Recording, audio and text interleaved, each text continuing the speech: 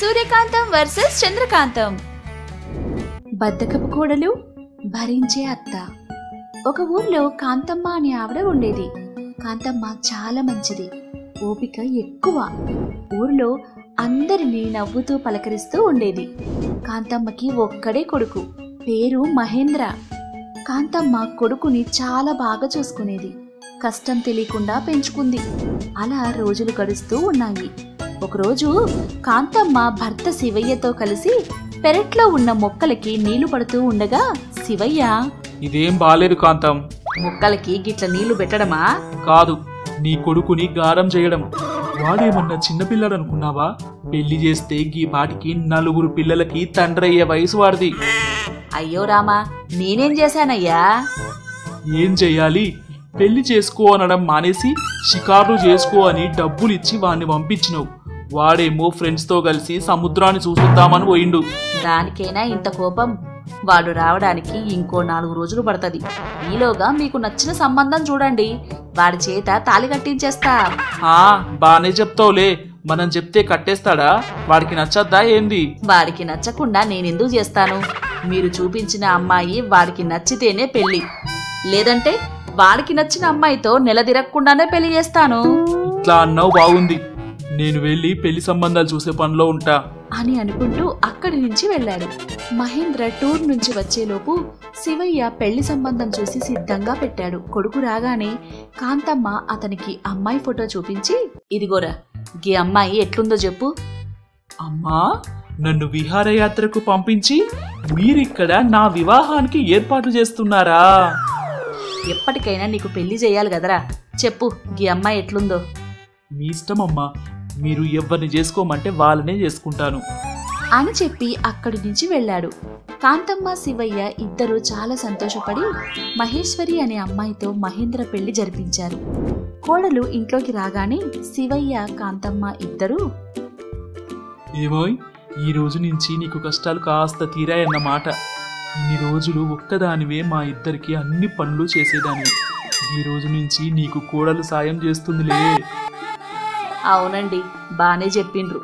నాక వయసు మీద పడుతున్న కొద్దీ లేవడానికి కూర్చోడానికి కూడా సాతనవ్వట్లేదు కొడలొచ్చింది కదా కాస్త ఊరట దొరికినట్లేలే. సర్లే గాని నాకు టీయో కాఫీయో ఇప్పిస్తే సంతోషపడతాను. గిరేమన్న హోటలా ఏంది ఇప్పించడానికి? మీ కోడలతో పెట్టించుకొని తాగండి. ఓహో అంత దూరం వచ్చిందా? సరేలే. అమ్మా మహేశ్వరి మహేశ్వరి!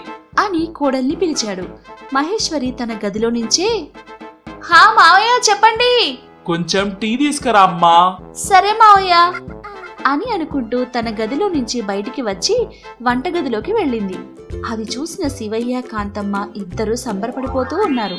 రెండు నిమిషాలకు వంటగదిలో నుంచి అత్తమ్మా అత్తమ్మా ఒకసారి ఇలా వస్తారా? పాపం తనకి ఎక్కడ ఏమున్నాయో తెలియదు కదా. చూపించొస్తానండి. అని అనుకుంటూ లేచి తాను కూడా వంటగదిలోకి వెళ్ళింది. అత్త రాగానే అత్తమ్మ నాకు మామయ్యకి టీ పెట్టివరా అని అంది. ఆ మాట విని కాంతమ్మ షాక్. పోనీలే కొత్త కదా. చెయ్యడానికి భయపడుతున్నట్లుంది కావచ్చు.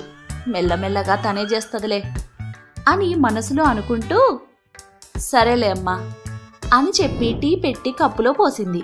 కప్పులో పోయగానే మహేశ్వరి ఆ టీ కప్పు పట్టుకొని హాల్లోకి వచ్చి మావయ్య ఇదిగోండి టీ. అని ఇచ్చింది.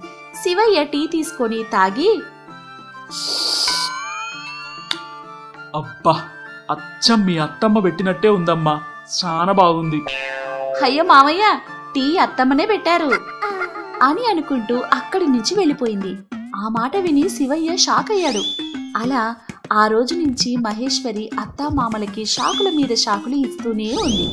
అలా రోజులు గడుస్తూ ఉన్నాయి. ఒకరోజు ఉదయం మహేంద్ర రెడీ అయ్యి మహి మహి నేను బయటికి వెళ్ళాలి తినటానికి ఏమైనా పెడతావా లేదా? అని గట్టిగా అరుస్తూ ఉన్నాడు. మహేశ్వరి ఇంకా నిద్రలోనే ఉంది.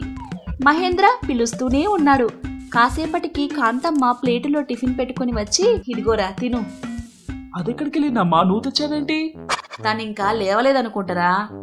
ఇంకా లేవలేదా? ఏంటమ్మా ఇది?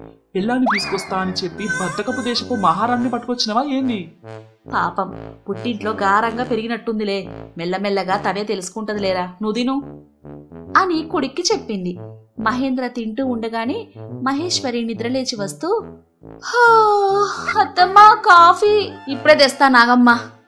అని వెళ్తూ ఉండగా మహేంద్ర ఏంటే ఒళ్ళు ఎలా ఉంది? "హా, ఇప్పుడే కదండి లేచింది. బద్ధకంగా ఉంది. పొద్దెక్కేదాకా పడుకుంటే బద్ధకం ఉండక బాదం పాలు తాగినట్లుంటదా? అయినా నీ పనులు నువ్వు చేసుకోలేవానే కాఫీ కూడా అమ్మనే పెట్టిమ్మంటావా? నాకు ఏ పనులు చేతకాక కాదండి. అత్తింట్లో పనులు చేస్తే అరిష్టమని నా జాతకంలో ఉంది. అందుకే నేనేం చెయ్యట్లేదు. ఏంటి? అత్తింట్లో పనులు చేస్తే అరిష్టమా? అలా చెప్పిన పంతులు ఎవరో చెప్పు. పంచాంగం చినిగేలా కొట్టొస్తాను. అమ్మో! మీరు కొడతాను అన్నాక నేనెందుకు చెప్తానండి? అరే పోనీలేరా చిన్నపిల్ల నుదిరు మా మంచి అత్తమ్మ. అత్త మంచిది కాబట్టే నీ ఆటలు సాగుతున్నాయి. అని అనుకుంటూ తినేసి అక్కడి నుంచి వెళ్ళాడు అలా మహేశ్వరి ఇంట్లో ఏ పని చేసేది కాదు. అన్నీ కాంతమే చేస్తూ కోడల్ని కూడా కూతురిలా చూసుకుంటూ ఉండేది. ఒకరోజు శివయ్య కాంతమ్మతో ఏంటి కాంతం ఇది?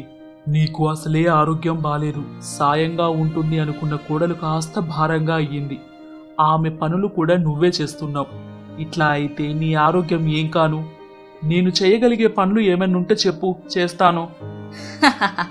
మీరేం చేస్తారండి. కూరగాయలు కట్ చేస్తారా బట్టలు ఉతుకుతారా? ఏమొద్దులేండి నేను ఉన్నన్ని రోజులు నేనే చేస్తానులే. మరి లేనప్పుడు మేమెలా ఉండాలి?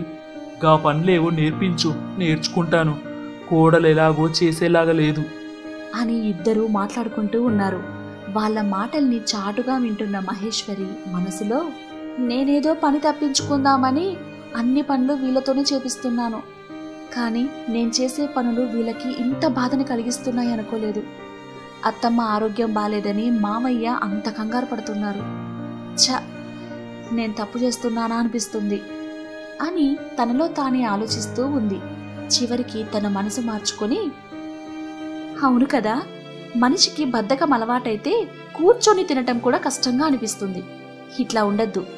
నన్ను కూతురిలా చూసుకుంటున్న అత్తమ్మని నేను కూడా అమ్మలా చూసుకోవాలి కదా అని అనుకొని ఆ రోజు నుంచి మారి ఇంటి పనులన్నీ చేస్తూ ఇంట్లో వాళ్ళందరి చేత శాబాష్ అనిపించుకుంది.